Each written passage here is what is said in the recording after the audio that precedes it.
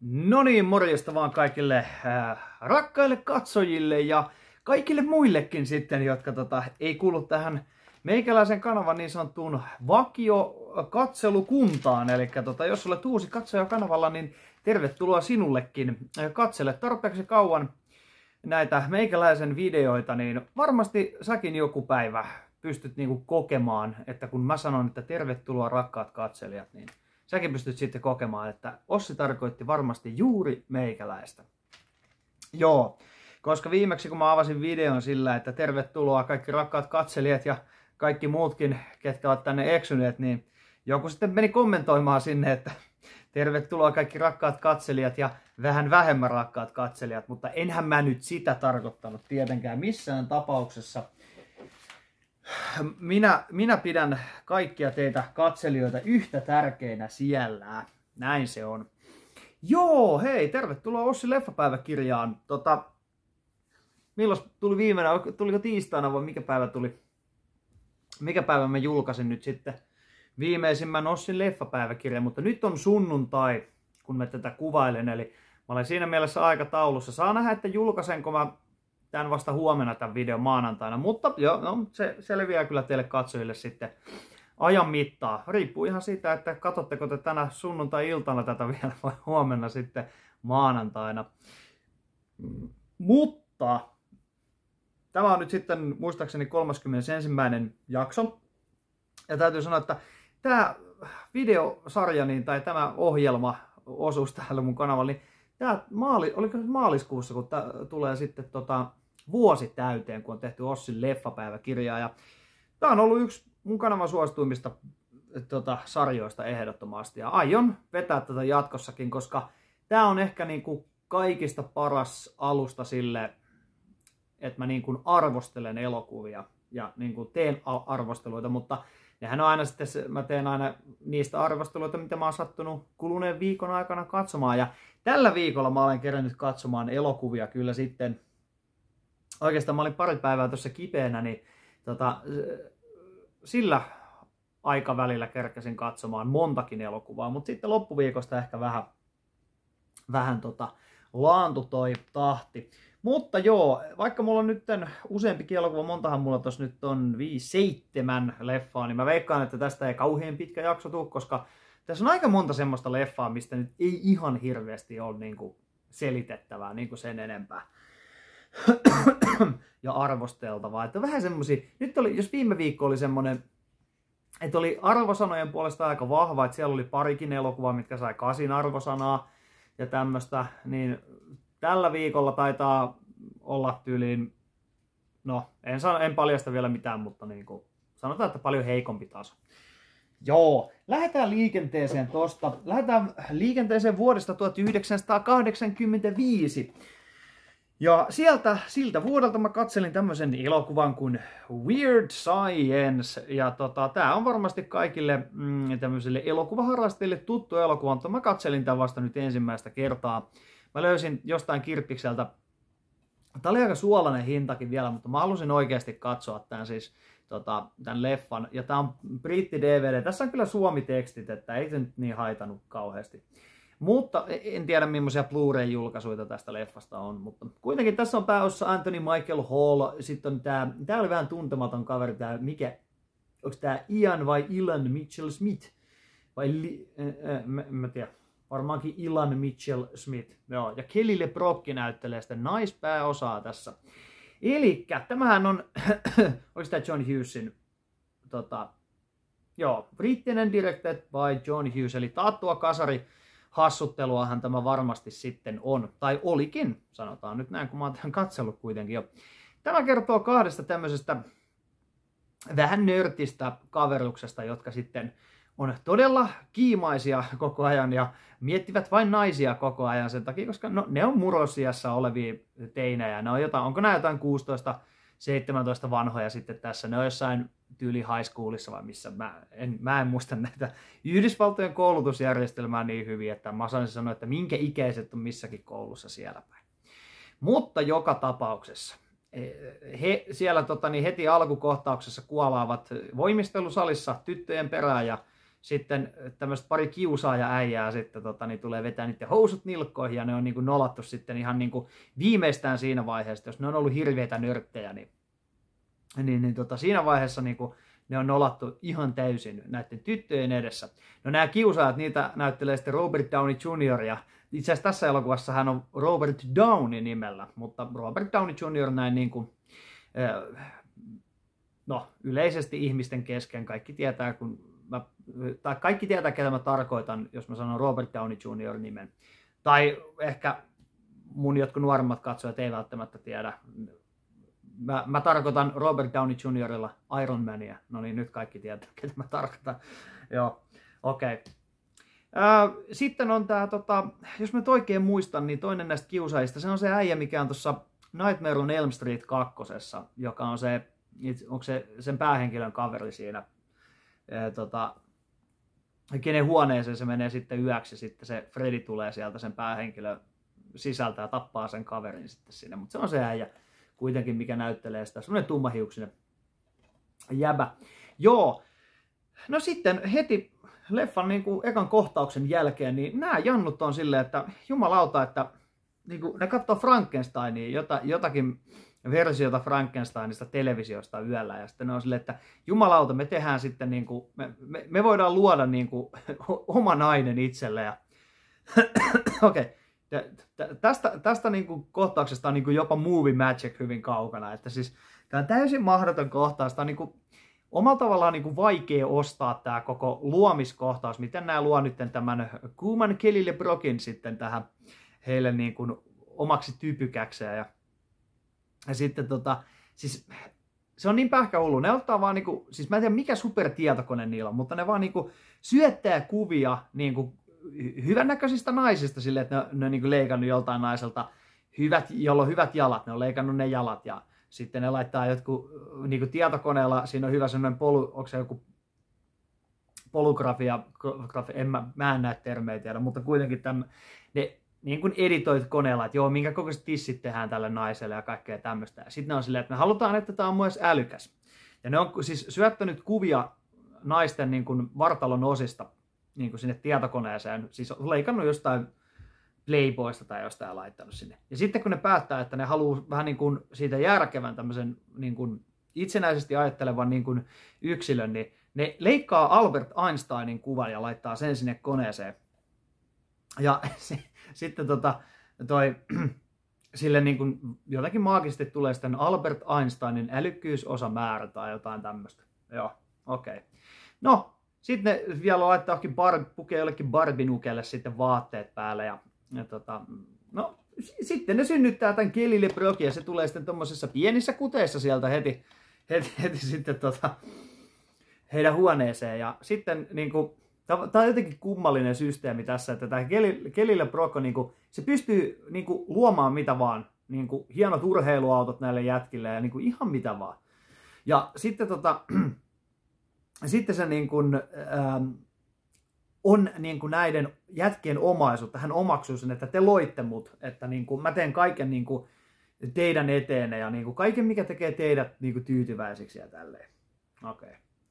No, jätkillähän on tietysti sitten ongelmia, että kun ne on kauhean epäsuosittuja, niiden pitäisi sitten niitä naisia saada. Toki ne niin kuin, on molemmat sitten vähän niin kuin silleen tästä kelillä porokista. No, meillä on hyvän näköinen nainen nyt tässä näin, mutta niiltä jää vähän niin kuin puuttumaan tämmöinen niin kuin ja rakkaus, koska kelillä prokin niin kuin hahmo niin kuin selkeästi aikuinen nainen ja se hengaa kahden alaikäisen pojan kanssa tässä ja pussailee niitä ja kaikkea tämmöistä. Ja tota, vähän kontroversiaalia juttua. Joo. Ja tota, niin, t- siis sanotaan, että kyllä tähän sitten pääsee sisään, kun tämän elokuvan niin hulluuteen pääsee niin käsiksi paremmin ja tälleen. No mutta sitten näistä pojista tulee, siis tämä Kelilleprot pystyy mihin vaan. Se, tota, se niin kuin pystyy niin kuin tekemään näistä jätkistä tosi suosittuja kun se on niin kaunis, niin se pystyy kutsumaan niiden bileisiin kaikki jätkät, kaikki naiset, niin kuin ne haluaa heti tulla näiden jätkien bileisiin ja kaikkea tämmöistä. Sitten yksi ongelma, mikä näillä on, niin ne asuu tämän toisen pojan niin kuin vanhempien kämpässä, niiden vanhemmat on tyyli pois ja ne on siellä niin kuin hengailee ja ne aikoo järjestää bileet. Mutta sitten tämän, tota, niin toisen pojan niin kuin veli, vittumainen veli tota, on kotona, jota näyttelee Bill Paxton ja se on vähän semmoinen yksinkertainen jätkä, semmoinen jostain jonkun armeijakoulun käynyt ja se on ihan hullua ja se kiristää sitä sen pikkuveliä koko ajan kaikilla, että joo, voisi ottaa mulle kuin 400 dollaria, niin mä voin unohtaa tämän kaiken, mitä mä näen, ja sitten se aina ottaa sitä riveleistä kiinni. Ja Bill Paxton vetää huikean roolin tässä, se on hemmetin hauska. Ja sitten loppuviimein tota, Kelille Pro kantaa sitten Bill Paxtonillekin opetuksen.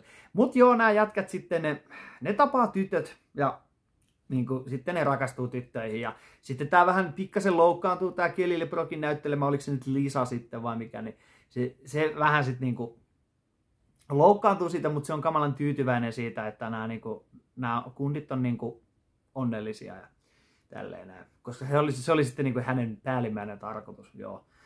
Ja sitten totta kai Robert Downey Jr. ja sen kaverin ne haluaa sitten kanssa päästä sänkyyn tämän Lisan kanssa, koska se on niin kuuma muija ja kaikkea. Mutta ehdottomasti elokuvan suosikkikohtauksiin kuuluu, kun Vernon Wells ja kumppanit tulee kyllä. Vernon Wells on tässä elokuvassa ja se tulee semmoisen niin kuin, vähän tämmöisen Mad Max-tyyppisen roskajoukon kanssa sinne bileisiin, koska tämä Kelillä Brokin hahmo on silleen, että joo, nämä pojat tarvitsisivat nyt vähän niin kuin, tämmöistä niin kuin itsetuntoa, että se niinku jostain tyhjästä luo tämmöisen prätkäjengiä, ne tulee sinne niiden bileisiin ja sitten ne jätkät joutuu niinku, niinku stood up, niinku, että niiden pitää puolustaa heitä itseään näiltä prätkäjengiläisiltä ja sitten näitä bileiden vieraita. Ja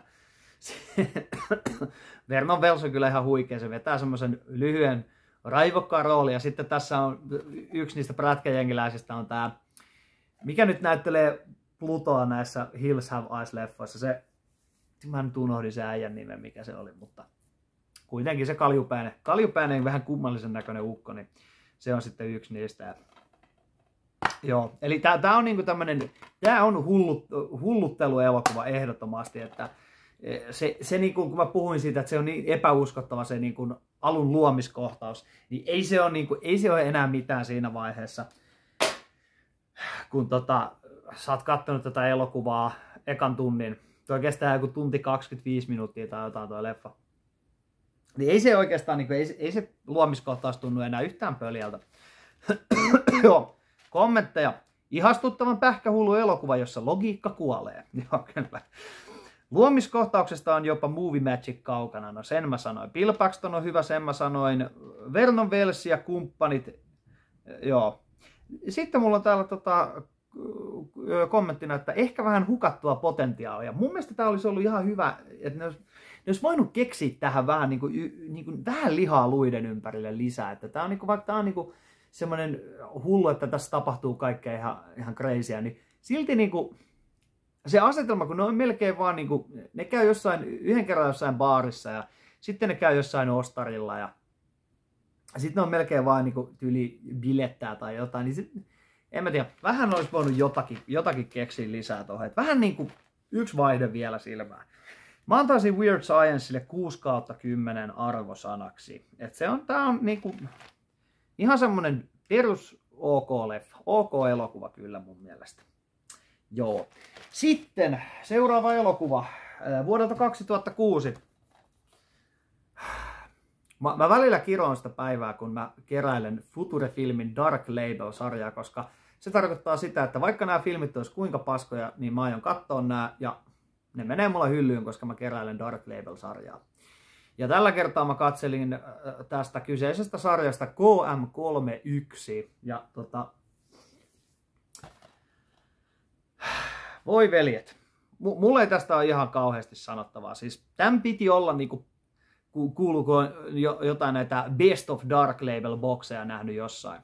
Ja sitten mä oon nähnyt, että siinä on myös KM31. Ja sitten niissä on jotain niin kuin Storm Warningia, mikä on ihan hyvä leffa.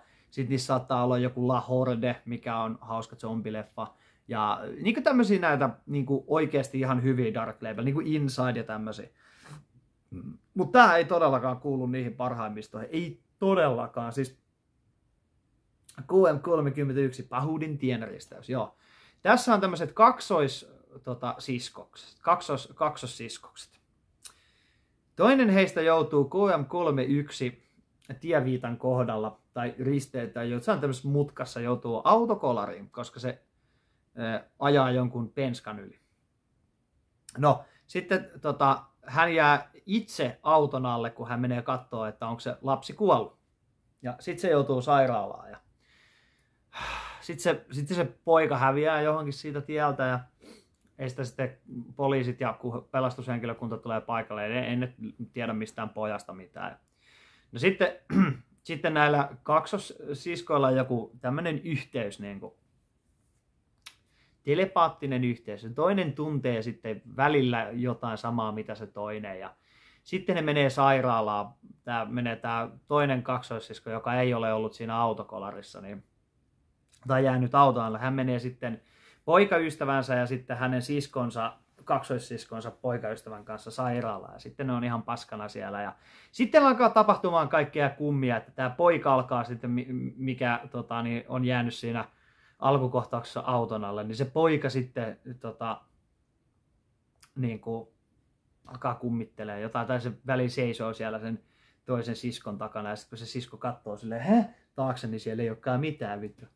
Joo. Ja sitten alkaa hirveät tutkimukset, ja sitten joku näistä, oliko se tämän toisen siskon poikaystävä, kun se alkaa jonkun poliisin kanssa käymään näitä kummallisuuksia läpi tässä, että joo, että joo, tässä risteyksessä on ennenkin käynyt kaikkea hassua, että siellä on vaikka kuinka paljon kaikkia niin kuin, tämmöisiä niin kuin, kuolonuhreja ollut ja hyvin mystisiä jut, ja tämmöistä. Niin kuin, siis, ei vittu, mun kommentti oli, tämä ainoa kommentti tästä oli, että tylsää tusina paskaa. Siis tää on tylsää, no okei mä olin kirjoittanut tusina kökköä, mutta nyt mä, tää, tää oli kyllä niin, niin tylsä elokuva, että mä en voinut niin kuin enää sensuroida itseäni, että ei mulla tästä mitään muuta sattuisi. Mulla meni mielenkiinto tähän ihan niin kuin, ja kaikki niin kuin loppukohta, siis loppukohtaiskin niin kuin ihan semmoista tylsää. Niin kuin. Tämä on meksikolainen elokuva ja tämä, sijo, tämä sijoittuu Meksikoon tämä. Joo, siis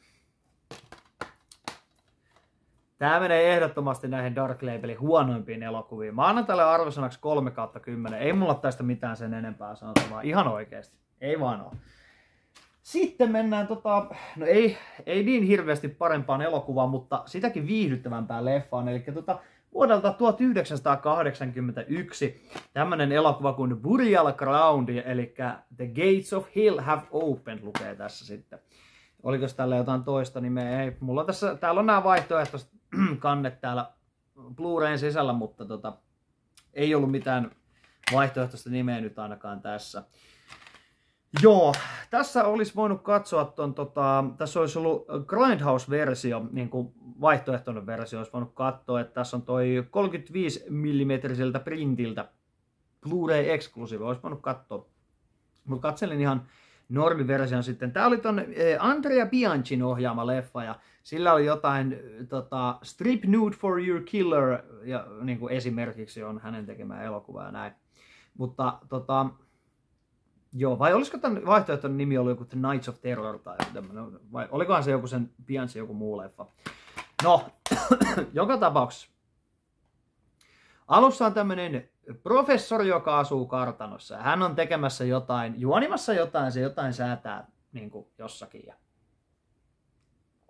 Sitten se ilmeisesti vahingossa herättää zombeja niin kuin henkiin sitten jollain hautausmaalla. Ja sitten ne zombit hyökkää sen kimppuun ja sitten se on silleen, no no, I am your friend, ja jotain silleen, niin kuin, että minä olen teidän kaveri, älkää hyökätkö minun kimppuun. Ja sitten ne tappaa sen professori. Ja sitten tässä käy silleen, että e, ilmeisesti tämän professori jotain sukulaisia niin kun, tulee sitten sinne kartanolle, ja ne on vähän huolissaan sitä, että minkä takia tota, te professori, niin kuin, missä se on ja tälleen näin, ne ihmettelee sitä sitten. Ja sitten on hyvä, kun tämä luki, niin kuin, ootas, miten se meni, että se oli ridiculously inbreded relatives, tai siis silleen, että täällä takakannessa viitataan siihen, että nämä, niin nämä niin kuin, ää, sukulaista, professorin sukulaiset tai professorin vieraat, ketkä tulee tänne kartanolle, niin siinä viitataan, että ne olisi niin kuin naurettavan sisäsiittoisia.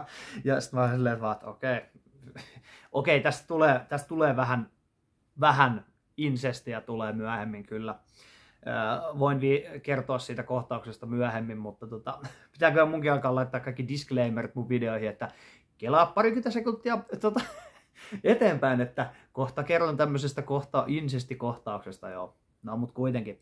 Nämä vieraat tulevat kartanoon ja he alkavat sitten siellä, siellä on muutama pariskunta ja niin poispäin. Ne alkaa heti kaikki sitten harrastamaan seksiä siellä omissa makuuhuoneissaan. Ja sitten niin kuin, siinä leik- leikataan tosi niin kuin, nokkelasti niiden kohtausten välillä, että sä oot silleen, okei, okay, nämä kaksi nyt laskeutuu sänkyyn ja ne on riisunut jo vaatteita pois. Ja sitten yhtäkkiä, kun kaksi ihmistä muhinoi sängyssä, niin sitten kuvataankin silleen, että se onkin se toi joku toinen pariskunta. Tota, okei, okay, se oli vähän mun mielestä confusing tässä elokuvassa, että jaksettiin niin kuin nähdä vaivaa tuommoiselle seksikohtaukselle, niin le- sille leikkaukselle noinkin paljon. Mutta joo, siis tässä on, kyllä, tämä on sleazyä settiä, tässä on alasta muutteja, zombikorea vähäsen kyllä. E, e, että, oli, oli, tässä ihan hyvin zombikorea, mutta se olisi voinut olla vähän enemmänkin. Mutta joo, ne on siellä sitten muhinoi ja sitten aamulla niin tota, ne alkaa taas sitten muhinoida. Siellä taas muhinoidaan. Sitten menee puutarhaan ne muhinoi sitten nää, tota, niin osa, osa tästä vieraisporukasta. Ja Joo, ja sitten, tota, sitten ne zombit alkaa ahdistelemaan niitä siellä pihalla ja loppuviimeinen sitten sulkeutuu kartanoon ja siellä osa sitten saa jo surmansa hyvin niin kuin aikaisessa vaiheessa näistä zombeista. Tässä on näitä tämmöisiä mutanaamat zombeja, mitä Italo zombileffoissa saattaa useasti olla, just että niillä on niinku, ne ei ole niinku välttämättä kaikki zombit maskeerattu semmoisiksi niinku ihmisen nä- näköistä, vaan niillä on vittu semmoinen ihme mutanen, tosi niin kuin kasvot peittävä maski tuohon päälle ja sitten näyttää semmoiset tosi hassuilta. Mut joo, kyllä tässä niinku nähdään semmoista ihan ok zombi actionia. Tässä zombit kävelee hitaasti ja piirittää ja zombit on vähän semmoisia kekseliämpiäkin. Ja tässä loppukohtauksessa nämä zombit yrittää työntää yhden äijän päätä siis sirkkeliin. Et niinku, siis et, nämä on näitä tämmöisiä niinku, kun George A. Romero omalla tavallaan joskus vähän niinku teki säännöt moderniin zombileffat. Millaisia zombit on? Mutta Italiassa nämä zombileffat, niin ne on aina, niillä on vähän omat säännöt. Niinku, on tietysti jotain muitakin poikkeuksia ympäri maailmaa, mutta aika useasti näissä italialaisissa zombileffoissa nämä zombit saattaa olla semmoisia, että ne saattaa väijyttää niin kuin, ja kaikkea. Että ne, ne, ei, ne ei niin kuin, käyttäydy semmoisille niin kuin, kuin aivokuolleet niin kuin semmoiset lihaa himoavat niin kuin monsterit, että se on välillä vähän hassua silleen. mutta joo, siis tämä nyt on oikeastaan tämän elokuvan juoni, että ihmiset on jotenkin seksuaalisesti kauhean latautuneita, ne on siellä kartanolla vähän paneskelee ja muuta, ja sitten zombit tulee hyökkää sitten niiden kimppuun, ja ne yrittää sitten selvitä näiltä zombeilta. Ja joo, tässä tulee sitten semmoinen kohta, siis tässä on tämmöinen nainen, jolla on poika mukana, ja se poika näyttää semmoiselta, niin kuin, se näyttää 40-vuotiaalta lapselta, ja sitten se koko ajan silleen, mä, mä, siis ne, joo, mä katsoin Enkku, Enkku dupeella tämän, ja se oli virhe katsoa tämä Enkku dupea, se oli ihan, ihan kauhea. Olisi pitänyt katsoa italialaisella ääniraidalla mieluummin sitten. Mutta, mutta kun välillä näissä 88 Filmsin nämä tekstitykset, ne saattaa olla ihan mitä sattuu. Siis jos sä laitat niinku, jos sä laitat ääni, englanti, englanninkielisen ääniraidan päälle ja sit sä laitat tota niin, ton englanninkielisen tekstityksen päälle, niin ne ei mätsää ne tekstit ja se ääniraita. Niin mä sitten katsoin vaan enkudupilla. Mutta kuitenkin, niin joo, tämmönen niin nelikymppisen näköinen niin poika. Sen pitäisi siis olla joku niin kuin ilmeisesti joku 18-vuotias tai 17-vuotias tai joku, mutta näyttää niin hupsulta se tyyppi. No, sillä, sillä pojalla on hänen äitinsä joku tämmöinen niin kuin, niin kuin, joku seksuaalinen, niin kuin, se, se, on viehätty äidistään seksuaalisesti ja sitten se, se on muuttunut, se poika on sitten muuttunut, tota, eikö niin, ennen sitä jo se alkaa kähmistä se äiti, kun niillä on ollut joku tiukka tilanne siinä zombien kanssa, sitten ne on päässyt pakoon johonkin huoneeseen. Ja sitten se alkaa niin kuin, äiti jotain eh, hieromaan ja sitten se alkaa niin kuin koskettelee epäsoveliaasti hänen äitinsä tissiä ja alkaa laittaa kättä jo hameen alle, niin sitten se äiti niin kuin läppäsee sitä poikaan sulle, mikä, mikä, su, mikä sua vaivaa. Ja, että se äiti niin kuin, ei tykkää siitä. No ei tietenkään, koska se on insestiä. Niin, niin sitten myöhemmin, kun se poika on muuttunut zombiksi, on kadonnut. Ja tästä, joo, uskokaa pois, mutta tästä aina kun Tästä tulee tämä klise, että joku on muuttunut zombiksi ja se kävelee silleen tälleen näin niitä niin kuin elonjääneitä kohtia. Sitten ne on silleen niin oh, oh, sä oletkin ihan kunnossa. Ja sitten se menee sille sen pojalle ja se äiti silleen, oh, minun rakas poikani. Ja äh, joo, joo, sitten se niin oikein niin antaa sille niin tissiä, että joo, että ihanaa kun mä saan sut takaisin, että, että Ihan vaan sen takia, kun mä sain sut takas, niin saat imeen mun tissiä, koska sä tykkäsit silloin joskus vauvana niin paljon imeen mun tissiä, kun mä ruokin sua. Niin kun, mä olin silleen, että... Niin kun, mä olin vaan silleen, että hyi helvetti oikeesti. Ja jälleen kerran tulee taas, ta, taas tämän elokuvan aikana, vaikka tämä oli viihdyttävä elokuva, niin taas tuli tämän elokuvan aikana semmonen, että mitä ihmettä mä oikein katson. Se on, se on elokuvaharrastajan elämää. Sä oot silleen, niin kuin, että mitä, mitä mä just äsken katsoin? Sä oot silleen, niin kuin, ei helvetti. Mut joo, oliko mulla tästä jotain kommentteja? Kommentteja oli, että hauskat musiikit. Oli joo. Ihan ok, sliisiä settiä. Joo, tässä oli mun mielestä ihan hyvin tätä zombi, zombikorjaa ja sitten oli tätä alastomuutta, mikä nyt kuuluu näihin tämmöisiin, itali- varsinkin näihin italialaisiin kauhuleffoihin. Kyllä kuuluu, että näkyy vähän tissejä ja tämmöistä kaikkea. Että nämä on aika useasti semmoisia niin seksuaalisesti jännittyneitä elokuvia. Ja kyllä tässä yhdessä kohtauksessa zombi sytyttää myös tuleen ja se on ihan, pitää arvostaa aina kun joku kaveri niin kuin kameran edessä sytytään tulee, että se kuitenkin niin kuin vähän vaarantaa henkeä se tyyppisenä. Joo, no alastomuutta ja zombimässäilyä. 40-vuotien näköinen lapsi kehmii äitiään. Sen mä selitikin. Minä annan Burjal Groundille 5 kautta 10. Joo, tää oli niinku... Tää oli niinku välttävä, vähän niinku välttävä arvosana, mutta siis kuitenkin. Ja mulla on arvoasteikko Ossin leffapäiväkirjassa ykkösestä kymmeneen, joten mä annan tälle niinku, tää saa puolet. Tää saa niinku, tässä oli niinku mun mielestä lasi puoliksi täynnä. Ei ollut puoliksi tyhjä, vaan se oli puoliksi täynnä mun mielestä. Joo. Sitten mennäänkin vuoteen 2002 ja siellä on sitten oikeastikin ihan, ihan niin kuin hyvä elokuva. E, tämmönen kuin Infernal Affairs ja tota, joo, honkkari-filmi, minkä kattelin tossa ja äh, sanotaan näin, että kaikki ketkä on nähneet Departed-elokuvan, niin tämä juoni on jokseenkin tuttu. Tää on vähän, tässä on vähän erilainen juoni kuin Departedissa ja jos siellä nyt nokkelimmat jo oli sille, että jaa, tämä leffa on vuodelta 2002, niin varmaan tajusitte jo, että Departed on ottanut juonensa niin kuin pääosin tästä elokuvasta. Eli tämä elokuva on periaatteessa alkuperäinen Departed, mutta Martin Scorsese on ottanut sen ja käsitellyt sitä sille hienovaraisesti, hienovaraisesti tätä konseptia ja luonut sitten omaan tyylinsä siihen ympärille sitten vähän lisämaustetta ja näin. Eli tämä juoni on se, että tässä on siis poliisi, joka on siis todella tämmöinen äh, niin kuin, todella niin kuin classified poliisi, että hyvin harva tietää tästä tyypistä, että hän on poliisi. Ja hän on soluttautunut sitten rikollisorganisaatioon tota, ja ollut joku kymmenen vuotta tyyliin niin kuin kaduilla soluttautuneena eri rikollisjengeihin. Ja sitten hän on päässyt vihdoin tähän yhteen rikollisjengiin, mihin hän haluaa niin kuin päästä. Ja tätä rikollisjengiä sitten johtaa tämä Golden Harvestin lyhyt hupiukko, eli tämä mikä on näissä Winners and Sinners leffoissa, ja sitten se oli sinne Jetlin Contract Killerissa. Mä oon aikaisemminkin puhunut Golden, mä, mä, mä kutsun sitä vaan Golden Harvestin hupiukoksi, koska se on aina se semmoinen yksi vitun taukki, joka, josta ei ole ikinä mitään hyötyä niissä elokuvissa. Se ei ikinä tappele tai mitä. No okei, okay, Winners and Sinners, eli näissä My Lucky Stars ja Lucky Stars ja Twinkle Twinkle Lucky Stars leffoissa, niin näissä on aika isokin porukka, ketkä ei tappele. Ja ne on semmoinen komedi, niinku, tämmöinen niinku, kevennysporukka niin sanotusti. Ja sehän on niissä leffoissa just tää, just tää Golden Harvestin hupiukko. Joo, no tässä se nähdään nyt sitten vakavassa roolissa, koska ei se siinä Jet, Contract Killerissäkään ollut kahden vakava rooli, mutta joo, tämä poliisi on soluttautunut sitten siihen. Ja sitten, t- sitten tota, niin tämä on myöskin sitten tämä rikollispomo. Hänellä on sitten myyrä soluttautuneena poliisivoimiin ja siellä on useampikin niitä. Että se ei ole niin kuin, että sen alkukohtauksessa heti näytetään, että se rikollispomo niin kuin nostaa maljaa hänen alaistensa kanssa. Ja nämä kaikki alaiset on semmoisia tyyppejä, ketä se on satunnaisesti poiminut jostain kadulta ja lähettänyt poliisikouluun ja sanonut, että sitten kun pääset sieltä poliisikoulusta, pois, niin sitten tota, niin, tuutte niin kuin mun luo heti ensimmäisenä ja sitten mä kerron teille, että miten nämä hommat hoidetaan, että miten te sieltä poliisi, poliisivoimista käsin autatte meidän rikollisorganisaatiota menemään eteenpäin ja tälleen. Tämä nyt on se, niin kuin, se konsepti tässä elokuvassa.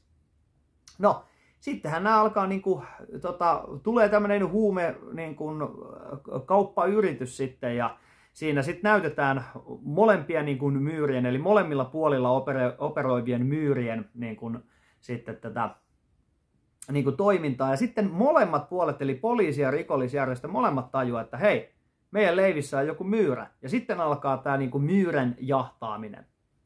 Ja tota, joo, ei tästä kyllä niin kuin ihan hirveästi silleen niin kuin ole sanottavaa siis siinä mielessä, että tämä on kyllä elokuva, mikä täytyy oikeasti itse katsoa, että tätä niin kuin pystyy parhaalla mahdollisella tavalla arvostamaan. Ja siis kyllä tämä toimi. Kyllä tämä toimi mun mielestä. Mä oon Departedikin nähnyt ja näin. Ja mun täytyy sanoa, että esimerkiksi loppuratkaisun kohdalla tässä ja Departedissa, niin ne eroaa toisistaan jonkin verran, että jos sä oot Departedin nähnyt, niin se ei ole välttämättä spoilaus tälle elokuvalle. Että tässä tehdään asioita vähän eri tavalla. Ja siis, eh, mä en tiedä, kyllä mä ehkä, mä en ole mikään Departedin suurin fani, mutta tämä oli kyllä niin kuin nyt tälleen tuoreelta silmältä, niin tämä oli kyllä oikein, oikein niin kuin loistava elokuva, tai no loistava, mutta hyvä kuitenkin.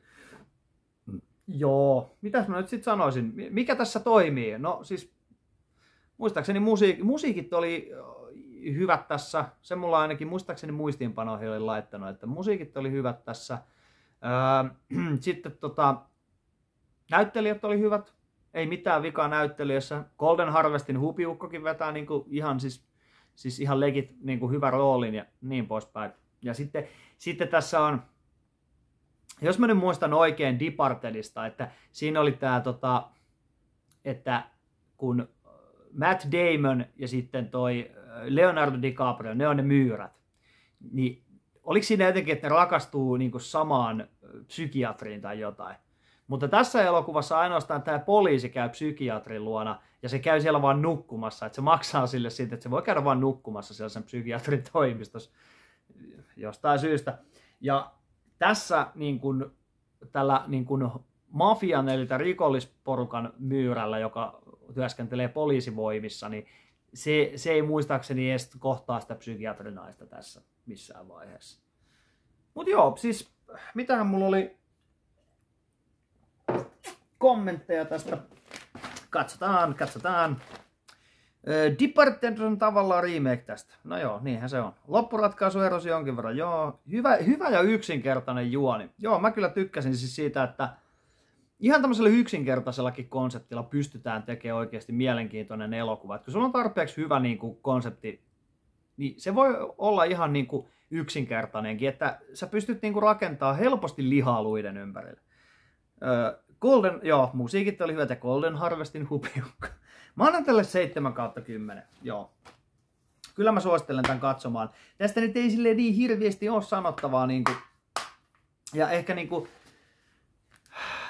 No enkä mä nyt viitti silleen niin kuin, kun mä en viitti spoilata nyt ihan kauheasti, niin sitten näitä kohtauksia alkaa tässä silleen käymään mitenkään hirveästi läpi. Että, no. Se on ihan hauska kohtaus, missä se rikollispomo sitten, tota, ne, ne jää kiinni siitä huumekaupasta, mutta ne kerkaa, kerkee dumppaa ne huumeet sitten mereen, niin se jää kiinni sitten, siellä on se koko, koko rikollis niin kuin porukka siellä poliisin kuulusteluhuoneessa ja sitten se niiden johtaja istuu siinä kuulustelupöydän ääressä ja syö silloin ruokaa, se syö vitusti siinä. Ja sitten se, poli, sitten se poliisipäällikkö tulee siihen vittuilemaan silleen, ja sitten se heittää ne ruuat vaan silleen vittuja ja silleen, että saatana jotain, niin kuin, vittu mä tapaan sut ja kaikkea tämmöistä. Se oli ihan, se oli ihan hyvä, hyvä kohtaus kyllä. Joo, sitten mennään vuoteen 2005 ja ai ai, mitä olisikaan Ossin leffapäiväkirja ilman Steven Seagalia. tota, minä katselin Steven Seagalin palkkasoturi, voi perkele, nyt oli taas kyllä ko- ko- Sanotaan, että Ossi poika oli taas kovassa, kovassa myllyssä tässä näin. Joo, mitäs mä nyt... Ei, joo. Okei, sanotaan heti alkuun, että ei nyt niin kuin mikään siis Black Dawnin, tai niin kuin, okei, Black Dawnista mä oon nähnyt vain aikat 45 minuuttia, koska sitten se mun DVD alkoi vittuille ja se ei toiminut. Joo. No, mutta mä voin sanoa, että ei mikään Black, niin kuin, sanotaan, ei mene niin, kuin niin alhaiselle asteelle kuin Against the Dark tai äh, toi Black Dawn tai äh, mitähän muita tommosia niin kuin, mitäs muita tosi huonoja siikaleita mä oon kattonut. Tämä menee ehkä sinne territoriolle, niin kuin, missä joku Belly of the Beast tai sitten ää, toi Fire Down Below on. Ja mä tiedän, että moni tykkää Fire Down Belowsta, mutta se, on, se, se ei ole mun mielestä oikeasti kauhean hyvä leffa. Se on todella tylsä elokuva. Se on kyllä parempi elokuva kuin tämä, mutta se on vaan tylsä elokuva. Ja sitten sen Steven Seagal vaan soittelee jotain kitaraa siellä. Ja sitten se on joku ihme luonnonsuojelija agentti siellä. Ja niin kuin, mä sanoin, tosi kiinnostavaa. Niin kuin, ei. se oli tylsä elokuva. Mutta sanotaan, että kuitenkin tämä on huonompi elokuva myöskin kuin esim. vaikka Urban Justice, tämmöisiä, niin kuin, että tämä ei ole sitä kaikista pahinta Stiikaliryönää, mutta tämä on kuitenkin siellä niin kuin toisiksi alhaisimmalla levelillä oikeastaan. Okei, Steven Seagal näytteli, mikä se, John Se- se näyttelee John Seeger-nimistä eh, palkkasoturia, ja sitten sillä on tämmöinen kova tiimi, kenen kanssa se aina sitten menee, tekee kaikkia palkkasoturitehtäviä, ja sitten tässä on joku tämmöinen alkuun tää sen porukka, ne lähtee, ne saa, saiko ne jostain CIA, tehtävän tai jotain. CIA palkkaa ne johonkin pienelle afrikkalaiselle saarivaltiolle sinne niin kuin taistelemaan jotain kapinallisia vai oliko se jotain hallituksen joukkoja vastaan vai mitä. Että siellä on joku tämmöinen hirmuhallinta ja sitten on silleen, että joo, että menkää te taistelemaan niiden kapinallisten kanssa ja tehkää vallankumous siellä. Jotain tämmöistä. No sitten sinne ilmestyy ranskalaiset sotilaat niin kuin puolustamaan sitten näitä tota, tämän saarivaltion hallituksen joukkoja. Ja sitten tota, osa tästä Steven Seagalin tiimistä sitten ottaa panttivangiksi Ranskan suurlähetystön niin kuin, tai suurlähettilään ja suurlähettilään perheen ottaa. Ja sitten ne räjäyttää sen koko perheen taivaan tuuli ja sitten Siigali, sillä tulee vähän kränää näiden tyyppien kanssa. Ja sitten ne miettii, että kuka vittu meitä kusetti, kuka vittu meitä kusetti, että miksi täällä on jotain ranskalaisia ja niin kuin, tä- tällaista näin. Ja sitten niin kuin, joo. No, sitten ne palaa takas Amerikkoihin ja sitten Steven Seagal on luvannut pitää huolta hänen kuolleen kaverinsa vaimosta ja lapsesta. Ja sitten tästä tulee joku semmoinen juttu, että se Steven Seagalin se palkka niin kuin sotilasryhmä, se on jotenkin jakautunut tai jotain. Ja osa työskentelee jollekin CIAlle ja tämmöistä. Ja sitten, sitten ne kaappaa, tota, tämä Steven Seagalin entinen pomo kaappaa niin kuin sen hänen kuolleen kaverin vaimo ja lapsen, kenestä Steven Seagalin pitää pitää huolta. Ja sitten ne kiristää sen niin kuin Steven Seagalin niin kuin mukaan tämmöiselle niin kuin, tota, vangin vapautusoperaatiolle. Eli jonkun äh, rikkaan jonkun öljyseikin tai joku tämmöisen poika on jossain vankilassa Etelä-Afrikassa jossain todella ko- kova, kovasti vartioidussa vankilassa, ja sitten on silleen, että joo, että sitä ollaan siirtämässä Amerikkoihin vielä turvallisempaa vankilaa. Teidän pitää nyt sitten hoitaa tämä mahdoton tehtävä ja niin kuin pelastaa tämä niin kuin poika sitten sieltä, että hän voi mennä sitten turvassa kotiin. Ja... Sitten ammuskellaan ja ajellaan ja Steven Seagal välillä sitten vähän potkii ja lyö ja riisuu aseista. Ja sitten kun sitten, sitten se niin kuin lopuksi sitten osa siitä sen tiimistä niin kuin onkin sitten Steven Seagalin puolella ja tälleen näin. Ja sitten se sen entinen pomo on silleen, että joo vittu, jotain niin kuin, se, se on niin kuin alkanut sitten kusea Seagalin muroihin ja sitten se lähtee niin kuin autolla pois sitten siinä lopussa on silleen jotain, että joo vittu, niin kuin, että jos mä nyt lähden vaan tästä, ja Steven Seagal on silleen, lähden vaan vittu. Ja, tai jotain, että ammu mut, joo, että ammu vaan mut, kun se, se entinen pomo osoittaa sitä aseella, että ammu vaan mut. Sitten se on silleen, mä arvasin, että ei susta ole siihen. Ja sitten sit se lähtee, sen pomo lähtee autolla vittuun ja sitten Steven Seagal onkin laittanut pommin siihen autoon ja sitten kun ne, sen palkkasoturikaverit tulee sen Steven Seagalin niin kuin, tota, niin viereen jotain, niin kuin, että miten sä päästit ton menemään? Ja sitten se on silleen, että hehe, he's kind of exploding type. Ja sitten se räjäyttää sen auton. Joo, kyllä tää niin menee tämmöisestä Ky- kyllä tätä vähän oli piinallista katsoa osittain, mutta kyllä tätä nyt niinku silleen, kyllä tämä niinku jakso yhdellä istumalla. Itse asiassa mä en edes kattonut tätä yhdellä istumalla. Mä katoin, mä aloitin tämän päivällä ja katoin illalla loppuun, koska mun piti tehdä kaikkea muuta. Katoinko mä jotain lätkämatsia välissä tai jotain. Niin... Voi pojat, joo. Ei siis, siis jotenkin niinku tää, tästä juonesta vaan jäi semmoinen, niin kuin, vaikka, vaikka mä niin katsoin tätä leffaa, niin mulla jäi jotenkin epäselväksi, että miksi nämä niin kiristää tota Steven Seagalia minkä takia nämä, osa näistä sen kavereista on mukana niin kidnappaamassa? Ne niin kuin kidnappaa Steven Seagalin tässä. No niin, nyt sä lähdet hoitaa tätä tehtävää vittu tonne noita. Muuten tämä yksi nainen ja lapsi tapetaan. Ja... Sitten, sitten niin kuin se, se loppumähinä on semmoista, että joo, siellä on jotain tyyppejä sitten, niitä, se, niin kuin, ne Steven Seagalin niin kuin, sen entisen pomon, joka on siis niin kuin, joka aina niin kuin, myytän niiden palkkasoturiporukan aina jollekin, joka tarjoaa massia niin, niin se on niin kuin jotenkin mukana tässä. Ja sitten se tota, niin CIA-äijä, joka on niin kuin alussa palkannut sitten niin kuin nämä sinne johonkin afrikkalaiselle saarivaltiolle sitten auttamaan kapinallisia. Niin kuin... Joo, Mercenary for Justice. Voi perötellä. Katsotaan mitä kommentteja mulla tuosta oli. Ei paskimpia siikaleita, mutta aika tylsää ryönää. Okei. Okay. Tarpeettoman monimutkaisia juonikuvioita. Joo, siis tämä niinku... Ihan siis tästä, tämä olisi voinut tehdä paljon simppelimmin.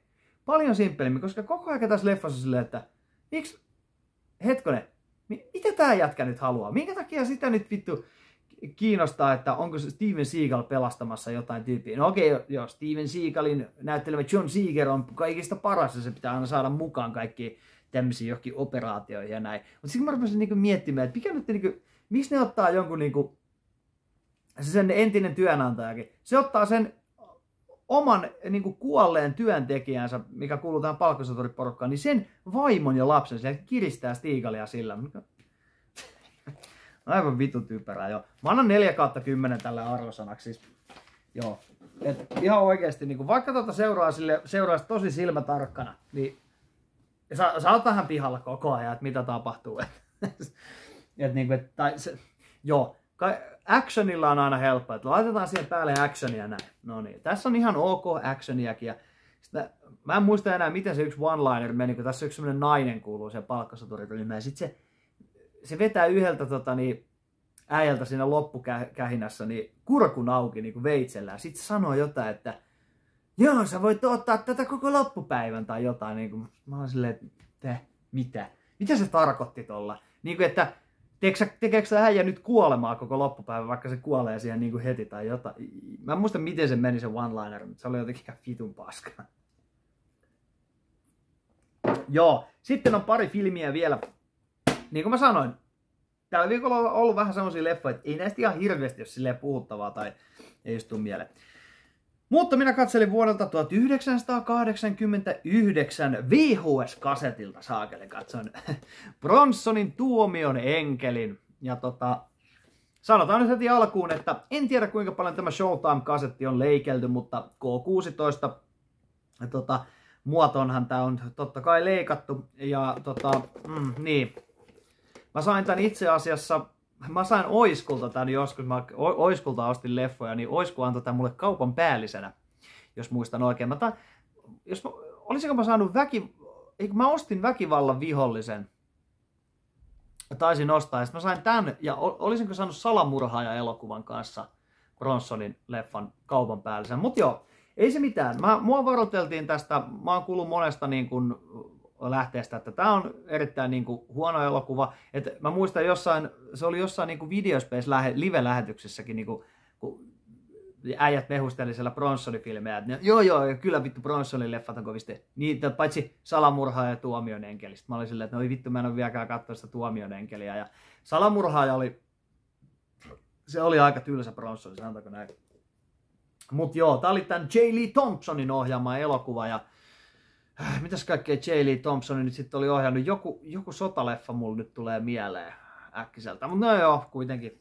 Me ei puhuta nyt J. Lee Thompsonista, vaan Koston enkelistä, eikö Tuomion enkelit joo. Messenger of Death alkuperäiseltä nimeltään. Mä sanotaan nyt sitten vaikka, että ei tämä nyt kyllä niin, niin huono Bronsoni ollut, mutta no joo, kyllä, kyllä huonoimpi, mitä mä oon Bronsonilta nähnyt. Niin että, kyllä mä, mä katson jokaisen Death Wishin niin kuin ihan any day mieluummin kuin tämä. Mutta joo, siis tämä alkaa semmoisella kohtauksella, missä on tämmöisiä niinku kolme jotain, morm, oliko ne mormoneja, mormoninaista lastensa kanssa on tota, tuolla ää, omassa talossaan jossain maatilalla ja sinne tulee sitten tämmöinen tyyppi haulikon kanssa, semmoinen tummin pukeutunut, sillä on hattu niin kuin silleen, vähän tuossa silmillä, että sitä ei voi erottaa sitten, että kuka se on. Ja se sitten lahtaa nämä kaikki lapset ja tota, nämä naiset sinne, sinne heidän kotiin ja sitten tämä jättää tämmöisen niin kuin, tu, tuomion enkelin niin kuin, tämmöisen piirtää verellä sinne seinään. Vai, oliko, vai jättikö se jonkun kuvan siitä tai jotain tämmöistä? Okei. Okay. No sitten Bronsoni, hän on tämmöinen toimittaja, joka sitten saapuu poliisien kanssa sinne paikalle. Hän tulee tutkimaan tätä keissiä ja sitten siinä niin kun poliisi ihmettelee siinä jotain, joo, mikä sitten, sitten ne ottaa sen tota, niin jonkun kuolleen vaimon miehen sitten, joka saapuu sinne kotiin. Mä en oikein ollut varma, että olisi ne kaikki sen vaimoja. Mä ymmärsin, että mormoneilla vissiin kai voi olla useampiakin vaimoja tai jotain, mutta oliko ne kaikki kolme naista sitten tämän yhden ajan vaimoja, en tiedä. Mutta tämä äijä sitten, tämä perheen isä, jonka siis perhe on tapettu, niin sitten se joutuu vankilaan. Ja Bronsoni menee sitten vähän kyselee siltä kaikki juttuja. Ja se ei niinku luota siihen, se on, silleen, niinku, se on semmoinen himo-uskovainen, niin se on vaan silleen, että joo, että Jumala rankaisee tätä tyyppiä, joka on tappanut mun vaimot ja lapset ja näin. Sitten, sitten se kuitenkin saa Bronsonin luottamuksen ja sitten se, sitten se menee tänne jokin mormonilahkoon tota niin, kuulustelemaan, oliko se sitten tämän tyypin isää, joka on sitten joku saarnaaja täällä mormonilahkossa. No kuitenkin, no sitten tämä saarnaaja, eli tämän mormonilahkon niin kuin pääukko, niin se, se sitten kertoo, että hänen veli on tappanut, tappanut ehdottomasti nämä, niin kuin, ja se on aivan varma siitä. Ja sitten, sitten Bronsoni alkaa sitten jäljittämään, tämä siis sijoittuu tuonne Coloradoon, Denverin alueelle, ja siellä se sitten seikkailee ja pyörii eri pikkukaupungeissa ja yrittää selvittää sitä, että mitä täällä tapahtuu. Ja sitten tota, se menee tapaa sitten sen mormonia ja veljeä johonkin kaukaiselle ranchille ja siellä alkaa sitten tapahtua kaikkea ja sitten, sitten nämä, jossain vaiheessa nämä uskovaiset siellä ammuskelee toisiaan. Vai, oliko, vai olikohan se niin? Ainakin, ainakin siinä oli tälle, että se, se hullu mormonilahko on se pääjehu, niin se yrittää ainakin sitä veljestä sitten tappaa siinä. Mutta sitten käykin ilmi, että se ei olekaan nyt ihan näin sitten. Ei olekaan ihan näin, mutta tota, niin se homma sitten, miltä se näyttää. Mutta joo, en mä nyt tiedä, ei, ei tämä niinku siis sinänsä paska leffa ole. Kyllä tämän kattoja, niinku, ei mitään semmoista, niinku, niin, ei mitään kotio kirjoitettavaa, niinku, sanotaanko näin. Et. Mutta olisi mulla jotain, mulla on ainoa kommentti tästä elokuvasta, että keskinkertainen Bronsoni. Ei mitään muuta. Mä annan tälle 5 kautta 10 arvosanaksi. Kyllä tää niinku menee semmosena niinku perusleffana, vähän niinku just joku Burt Reynoldsin kosto. Niin sekin on semmonen niinku, et kyllä sen kattoo. Siinä on muutamia ihan mielenkiintoisia juttuja, mutta joo. Charles Bronson on toimittaja, joka, joka tota, käy vähän uskovaisia kuulustelemassa ja sitten se joutuu tota, niin, tämmöiseen salaviihtiin sitten mukaan ja alkaa selvittää, että mikä tässä on nyt oikeasti niin kuin takana, että, onko, että ovatko nämä oikeasti uskonnollisia nämä murhat ja kaikkea tämmöistä. Ja mikähän se motiivi nyt oli sille äijälle, että se uskoi, että hänen veli on käynyt tappamassa ne. Mä en nyt todellakaan muista. Oliko se sitten joku, että, että tota, kun hänen veli on niin uskovainen, kun se ei mun mielestä oikein ollut mitenkään uskovainen se, sekä äijä, mutta ihan sama vittu, en, en mennä, mulla on yksi leffa vielä jäljellä ja katsotaan se läpi ja, tai käydään se läpi ja sitten tota, sitten saadaan jaksopaketti. Turha sitä nyt on lätistä sen enempää tuomion enkelistä. Koska se ei ollut mitään kamalan ihmeellistä, ei hyvää eikä hirveätä paskaakaan, että siltä väliltä jotain. Joo, mä katselin vuodelta 1959 Suomi-filmin Kovaa peliä Pohjolassa ja tää oli ehkä taas semmonen pienoinen positiivinen yllättäjäkin jopa.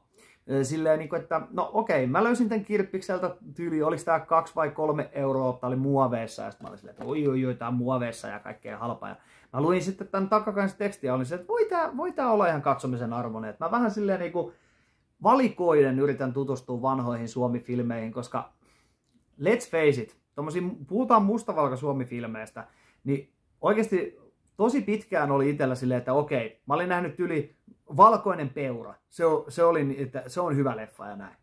Sitten komissaario Palmut, ne on tosi hyviä. Ja sitten tyyliin nähnyt Pekka ja Pätkä elokuvia joskus nuorempana. Silleen, että se, et ei ollut tullut laajennettua sitä niin kuin Suomi-filmien niin kuin sitä, ei ollut tullut tutustuttua niin paljon näihin mustavalkoisiin Suomi-filmeihin. No, sittenhän mä niin kuin, rupesin niitä kattelemaan enemmänkin ja sieltä löytyi ihan hyviä helmiä, niin kuin esimerkiksi vaikka Hän varasti elämän, on to, se on, mä tykkään kyllä siitä, tosi hyvä leffa.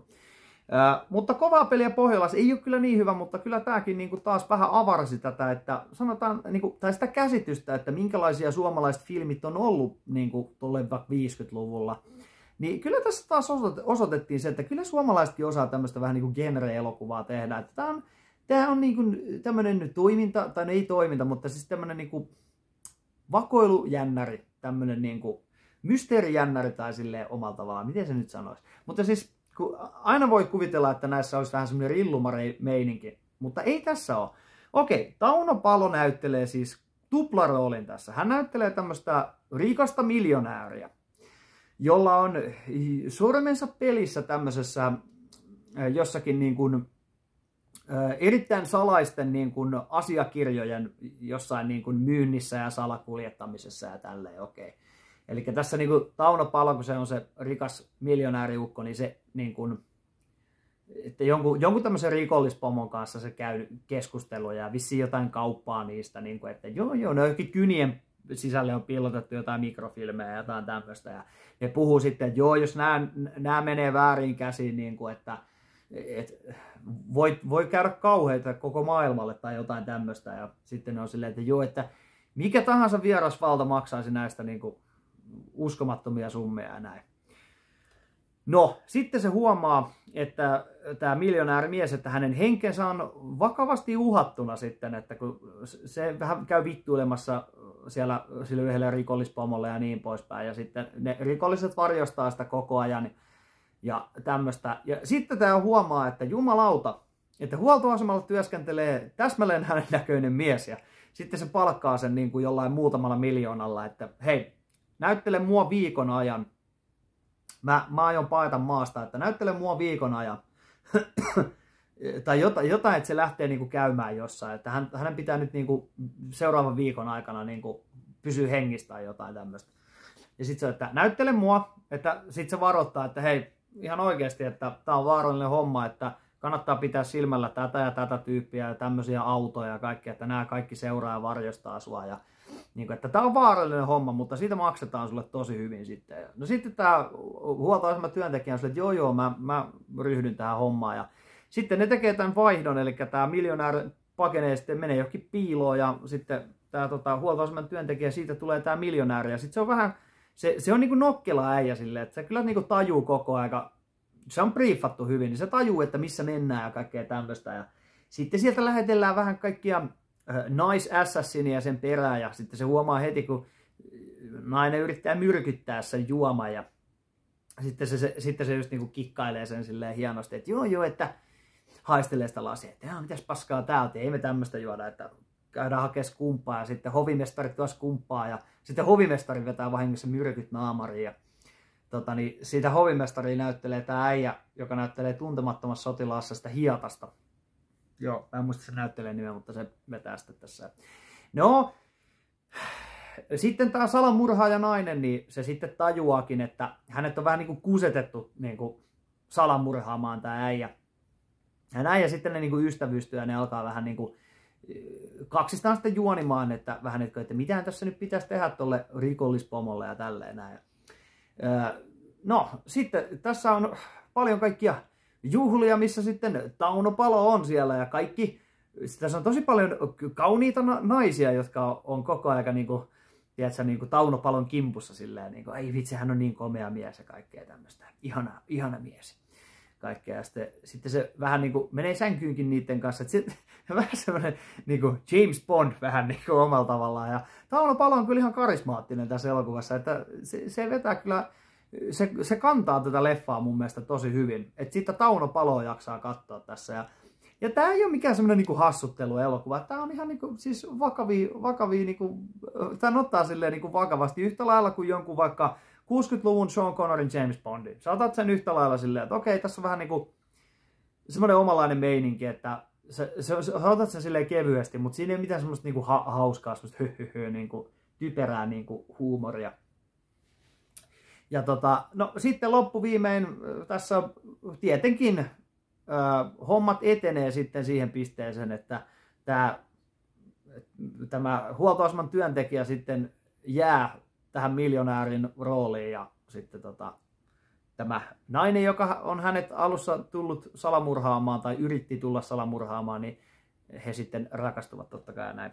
Mutta ehkä mä en spoilaa tästä nyt sen enemmän, vähän ehkä spoilasin jo, mutta tota, en spoilaa sen enempää. Tämä oli tuon, tota, muistan oli ohjannut, Toivo Särkkä oli ohjannut joo tämän. Tämä on ihan siis oikeasti hyvä, siis tota, tämmönen vakoilujännäri, siis niin kuin, tässä tulee niinku semmosia niinku, just niinku takinkääntöjä ja kaikkea vähän pieniä niinku, juonitvistejä ja tämmösiä näin.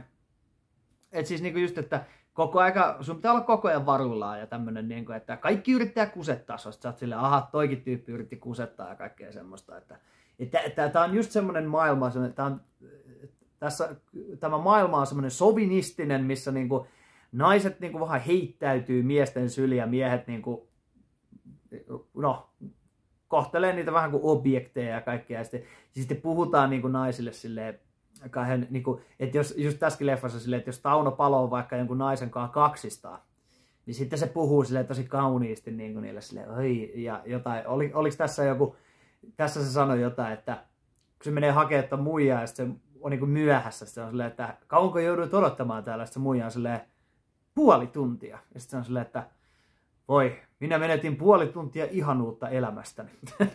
Just tämmöistä tosi imelää. Ja sitten kun täällä on tota, hovimestarin lisäksi silloin töissä tämmöinen, niin kuin, onko se nyt sisäkkö vai mikä se nyt sitten on, niin, niin se kävelee sille oikein, niin kun se lähtee pois sieltä, oikein sille persekeikkuen kävelee pois sieltä huoneesta. Ja sitten se on silleen, herra jumala, sinähän kävelet kuin Marilyn.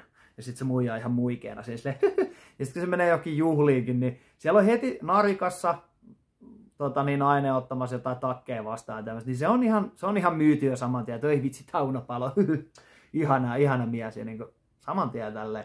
Mutta sitten jos on niin kuin, sitten jos on kohtauksia, missä niinku se juttelee vaikka niinku toisen äijän kanssa siinä ja joku nainen tulee tarjolle jotain juomaa, niin sitten se niinku kattelee niinku niitä naisia puhuu sille toiselle tyypille sille, että joo, että aa, hän, on, hän on erittäin upea ja jotain just tämmöistä. On tämmöistä sovinistista ja niinku, kaikki on kierroilijoita, tämmönen, niin kuin, tämmönen maailma, sovinistinen kierromaailma kyllä tässä.